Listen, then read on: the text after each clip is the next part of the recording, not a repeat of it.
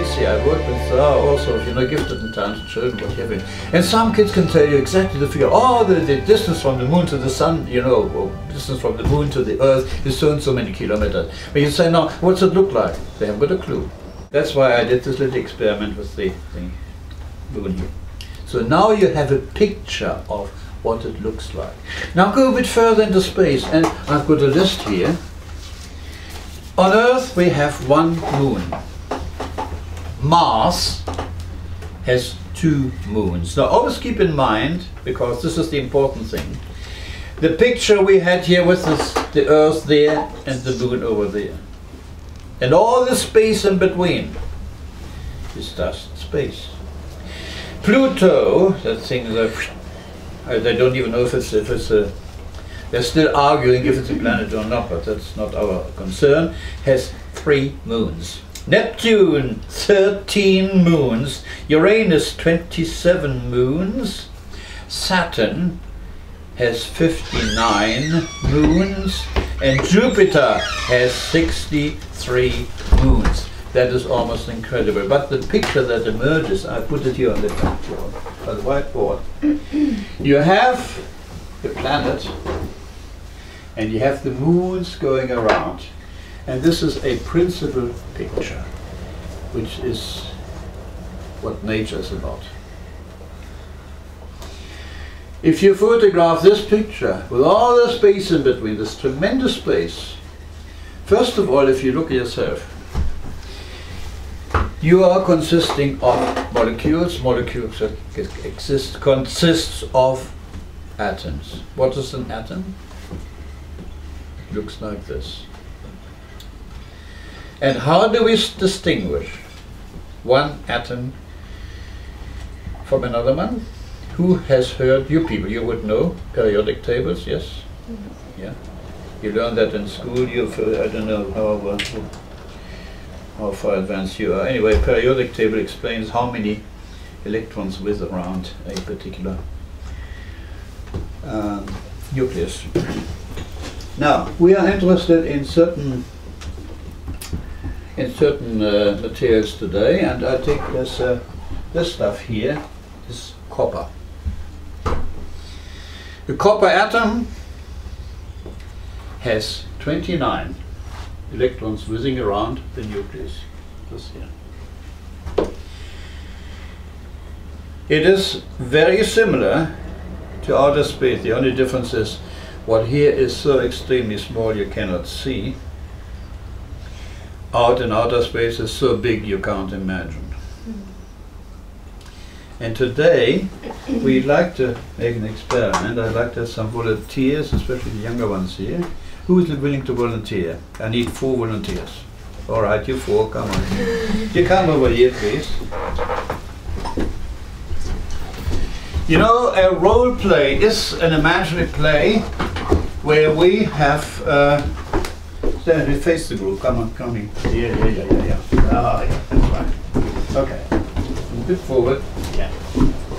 Now you know you know what you are. Yes. For the next minute, you are a copper atom, and you have 29 electrons whizzing around you. Right? 29. This is you. You know what you are? Yeah. You are what? You are a copper atom for the next minute with 29 electrons whizzing around you.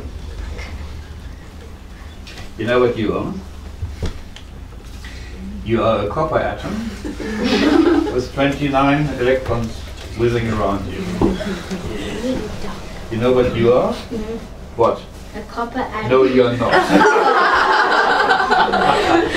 you don't have 29. You may have 17 or 95, I don't know. But you are not copper. You are, take your pick, plastic, dry wood, anything like that. Right? And you are one out of the ordinary. Now, now make sure you keep your 29 over you because if you're 30 you're nickel, if you're no zinc, and if you're 28 you are nickel. So make sure you remain copper. Now, would you stand here, right next to our uh, Marie. Well, yeah. Marissa. and you stand here, and you stand here. Now, what happens? I've got a magic pump here, which is called voltage. When I pump, I create voltage. And you know what happens? If I do this, then some of the electrons here go to there, there, there. They go all, everyone in the room. In fact, everyone in Canberra, everyone in Australia. And imagine again the whole circle comes around here. Yeah, not you, no, around here. I pump, and as soon as I get three electrons whizzing around, three come back here. Because you can't have more or less electrons, right? You're all copper. Now comes this worm here. And this is opposing everything. Yes. Because now I'm pumping here. And what happens? Nothing. Because this one here says, I'm not going to give my electrons away. I want to keep my electrons here. So I can pump and pump and pump. This one is the odd one out.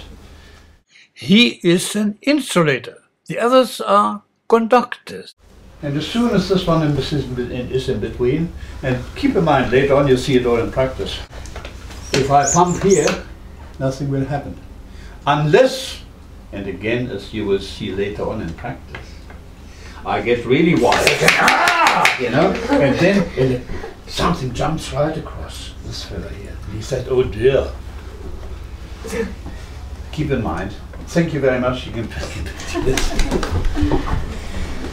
When I pump and electrons move, that is electricity. That's the point of all this. Remember, whenever voltage pushes electrons around an electric circuit, that is electricity. Is there any electricity inside you? Any of you?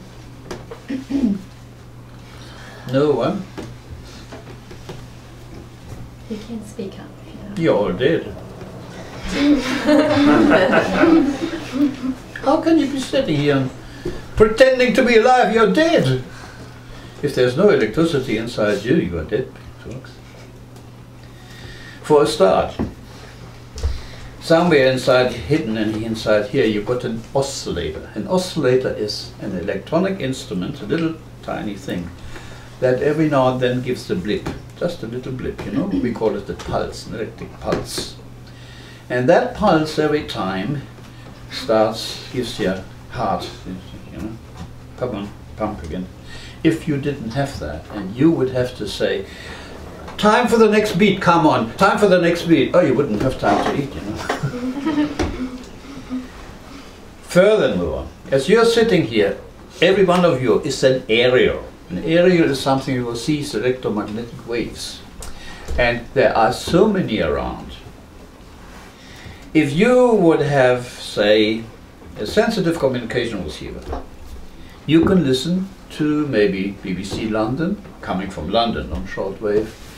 You have hundreds of signals in all sort of wave bands, wavelengths. And it's all inside you because you can't tell, but you're sitting here and, and you don't know. It. But we haven't got the sense. We only have taste and what it, uh, ears and whatever. We haven't got the sense to receive it, so we have no idea. But inside you is so much electricity